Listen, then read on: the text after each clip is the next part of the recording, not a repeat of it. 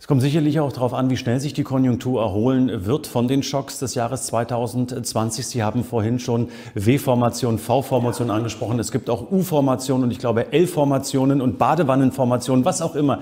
Herr Weber-Sinke, wie sieht hier Ihre Erwartungshaltung für 2021 aus? Was sagen die Frühindikatoren? Ja, also wir leben natürlich genau mit den Corona-Infektionszahlen. Das ist einfach so, weil bis der Impfstoff kommt, sind wir in der Hand von Corona. Das heißt, Teilstilllegung der Volkswirtschaft, natürlich hinterlassen die Bremsspuren. Das ist doch überhaupt gar keine Frage. Wir versuchen es intelligenter zu machen als bei der ersten Welle, wo wir alles stillgelegt haben und diese gigantische Rezession damit ausgelöst haben. Also differenzierter, aber in diesen Wintermonaten weiter mit angezogener Bremse. Das ist schwierig, aber der Impfstoff wird kommen. Wir wissen allerdings, es dauert. Wir brauchen ja drei, vier Milliarden Ampullen Impfstoff. Das ist eine Menge, die kriegen wir nicht in vier Wochen. Produziert, abgefüllt und auch noch injiziert. Das heißt, das wird Monate dauern. Ich bin auch sehr gespannt, wer da zuerst dran ist. Die Impfkommissionen haben da ethisch äh, wirklich herausfordernde Fragen vor sich. Verzögerte Verbreitung des Impfstoffes heißt aber auch verzögerte Erholung der Konjunktur in 2021.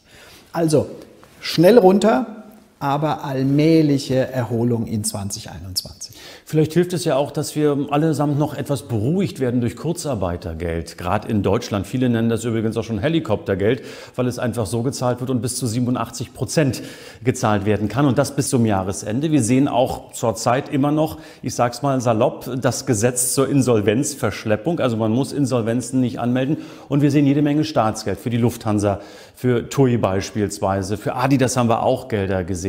Das ist alles gut und richtig in der Krise gewesen im Frühjahr schnell zu reagieren. Ich glaube, da sind sich alle einig, Herr Professor Weber-Sinke. Aber ist das auch im Jahre 2021 noch wichtig? Also bis zum Impfstoff ja, danach bitte nicht mehr.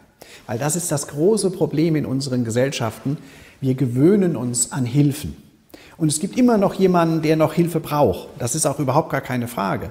Aber was hat uns in Deutschland diesen Spielraum gebracht, dass wir konsolidiert haben? Die berühmte schwarze Null. Sie wurde belächelt als Fetisch und was weiß ich abgetan. Es war wichtig, denn jetzt haben wir Handlungsspielraum. Antizyklische Fiskalpolitik und dann aber auch richtig mit Volumen ist goldrichtig. Aber wir müssen, wenn der Impfstoff da ist, zweite Hälfte 21 wieder konsolidieren, wieder die verschiedenen Dinge zurückfahren, das wird mühsam, überhaupt keine Frage. Und leider vielen unseren Partnerstaaten in der Europäischen Union gelingt das ja nicht immer. Stichwort Italien, die gar nicht konsolidiert haben. Ist es dann aber nicht vielleicht fast schon zu spät, Herr Weber-Sinke? Denn wir sehen ja seit Jahren schon, seit der Lehman-Krise und nach der Staatsschuldenkrise, Null- und Negativzinsen. Das ist ja nie besser geworden. Die Notenbanken haben immer neue ähm, ja, Pfeile aus dem Köcher geholt und man fragt sich, wie lange geht das so noch gut? Punkt eins. Punkt zwei, eben die Unterstützung der Menschen, der Industrie. Wird damit nicht mit dieser Alimentierung einer Zombifizierung äh, der Wirtschaft in Deutschland, aber auch anderswo Vorschub geleistet? Ja, die Zombie-Unternehmen sind ein Problem, weil wir verlängern das Leben, um die Krise abzufedern. Das macht Sinn.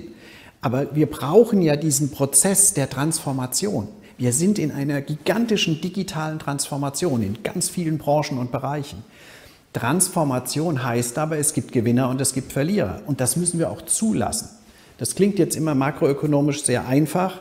Ich verstehe, dass es für die betroffenen Unternehmen der alten Ökonomie und den Mitarbeitern bitter ist. Überhaupt keine Frage. Aber wenn es uns besser geht, dann gelingt ja auch die Transformation, der Wechsel des Arbeitsplatzes, dass die Investoren zu neuen Geschäftsmodellen hingehen. Und das sehen wir ja schon.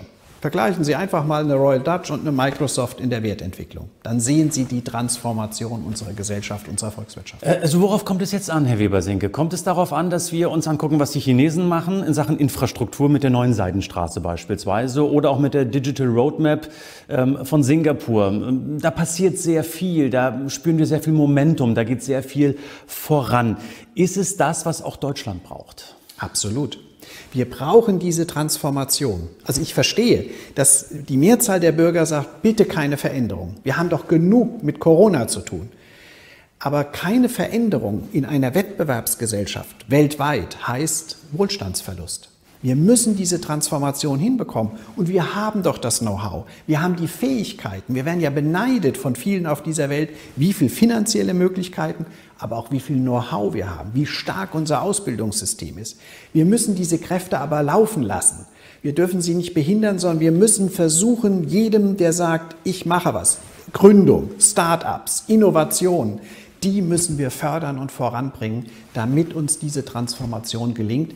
Innovation führt uns aus der Corona-Krise auch heraus, natürlich. Ihren Optimismus in allen Ehren. Ich würde Ihnen gerne folgen, aber wenn ich mir die Marktkapitalisierung der 100 stärksten Unternehmen der Welt anschaue, finde ich SAP irgendwann unter ferner liefen. Und ich weiß, dass jedes große Tech-Unternehmen aus Amerika, egal ob Apple, Facebook, Alphabet, Amazon, wie sie alle heißen, wertvoller ist als der ganze DAX zusammen. Also so ganz kann ich Ihrem Optimismus nicht folgen. Corona verstärkt die Transformation. Wir waren doch vorher schon drin. Die Autos, die Ölkonzerne, wir haben sie angesprochen der Handel, natürlich im, im Bekleidungsbereich, das war alles schon vor Corona nicht mehr wirklich gut. Viele hatten die Hoffnung, dass durch die Gewinne mit den alten Produkten der Wechsel in die neue Welt gelingt.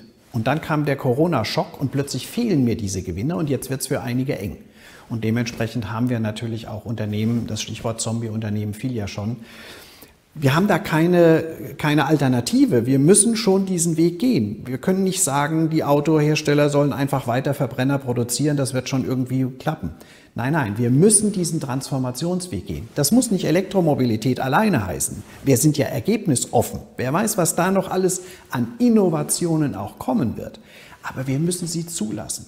Also die Beharrungskräfte verstehe ich. Wir sind ja eine in Europa eher ältere Volkswirtschaft, wohlhabende alte Volkswirtschaft. Wir wollen nicht so viel Veränderung. Aber wenn wir unser Niveau halten wollen, brauchen wir die Veränderung und müssen sie auch zulassen und auch fördern. Geht das mit dem Personal, das wir haben? Ähm, ich will die Politik ausklammern, weil wir ja hier im Kapitalmarktausblick sind. Aber mit dem Personal, was wir in den Unternehmen sehen, brauchen wir, um es mal konkret zu machen, brauchen wir mehr ja, Führungspersönlichkeiten eines Elon Musk, der mit unglaublich viel Innovation, fast spinnerten Gedanken könnte man meinen, vorangeht und bisher durchaus erfolgreich war. Also ein guter Vorstand, gute Managementqualität, sagen wir immer, braucht Diversity. Das heißt, ich brauche in einem Vorstand viele Charaktere. Ich brauche auch den Visionär, selbstverständlich. Sonst können Sprunginnovationen ja gar nicht kommen. Wir reden immer wieder von Sprunginnovationen, die uns schneller voranbringen. Vielleicht ist Corona da ein Auslöser. Also wir brauchen auch ein paar Elon Musks, so verrückt er manchmal auch ist, vielleicht in etwas milderer Form, aber wir brauchen diese Ideengeber. Wir brauchen aber auch die, die das konkret umsetzen können, weil das ist, glaube ich, jetzt nicht seine Stärke, in die Niederungen der Details hineinzusteigen. Also wir brauchen in den Führungskräften, das war ja Ihre Frage, wirklich diese Mischung fähig, verschiedene Fähigkeiten, die dann dazu führen, dass die Transformation wirklich gelingt. Er bemerkt es, glaube ich, auch gerade mit dem Bau in Grünheide, der neuen Tesla-Fabrik in Brandenburg, wie das in Deutschland ist, dass es nicht ganz so ist, wie er sich möglicherweise vorgestellt hat. Aber er ist ein Visionär in der Tat. Und abschließend möchte ich mit Ihnen auch, naja, Visionen ist vielleicht zu viel gesagt, ähm, denn wer Visionen hat, soll zum Arzt gehen. Ähm, aber wenn wir jetzt äh, visionär ins Jahr 2030 reisen, Herr Professor Weber-Sinke, wie glauben Sie, werden wir dann auf das Börsenjahr 2020 zurückschauen? Also das geht in die Geschichte ein. Überhaupt keine Frage. Der Corona-Schock, der Corona-Jahrgang, werden wir später sagen. Es hat ja auch gesellschaftliche Spuren hinterlassen. Also das, wir werden noch lange darüber nachdenken. Aber wir werden am Ende gelernt haben, wie wir mit Pandemien umgehen. Das ist ein schmerzhafter Lernprozess, überhaupt keine Frage. Wir werden auch das Börsenjahr uns anschauen, Volatilität auf neuem historischen Hoch. Aber 2030 haben wir den nächsten exogenen Schock, ganz sicher. Wie er dann heißt, wir wissen es nicht. Ich weiß nicht, ob das jetzt Optimismus verbreitet, aber wir interpretieren einfach mal, dass aufgrund der langanhaltenden Negativzinsen die Aktie, die Immobilie, auch das Gold, also der Dreiklang auch Sachwerten ähm, interessant bleiben wird, auch über das Jahr 2020 und 2021 hinaus. Herr Professor Weber-Sinke, ich danke Ihnen ganz herzlich, dass Sie sich die Zeit genommen haben, sich heute hier mit uns zu treffen und äh, für alle diejenigen, die eben keine Veranstaltungen besuchen können, diesen virtuellen Jahresausblick zu geben. Herzlichen Dank dafür. Alles Gute für Sie. Bleiben Sie gesund. Dankeschön, Herr Frank.